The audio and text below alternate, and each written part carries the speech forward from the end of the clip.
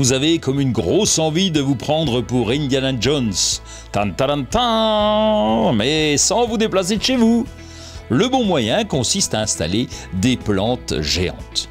Pour avoir une forêt vierge en forme à la maison, il faut plusieurs grandes plantes. Un arrosage à température ambiante. Un vaporisateur. Une exposition lumineuse, très lumineuse. Les plantes vertes de nos intérieurs sont des végétaux originaires des tropiques. Ah bah oui, c'est pour ça qu'on les cultive dedans et pas dehors. Dehors, chez nous, elles seraient frigorifiées. Même si elles sont petites au moment de l'achat, avec un peu de patience, vos plantes deviendront géantes. Ah bah oui, parce qu'un ficus reste un ficus, un dracéna, un dracéna, un yucca, un yucca. Bon, vous avez compris le principe. Du coup, placez vos géantes ou vos futures géantes à la lumière naturelle. Arrosez-les en laissant sécher le terreau entre deux apports d'eau.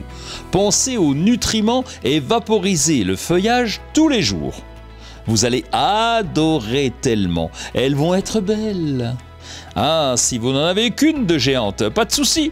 Faites tout pareil et préférez-lui une belle place en isolé. Elle va devenir la reine de votre déco, c'est promis.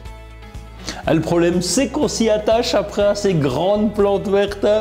Mais oui, mais oui, comment qu'elle... Oh, qui, qui, comment qu'elle est gentille. Eh ben, un petit béquet, un petit béquet, mais oui, un petit béquet. Oh, aïe, t'as pique.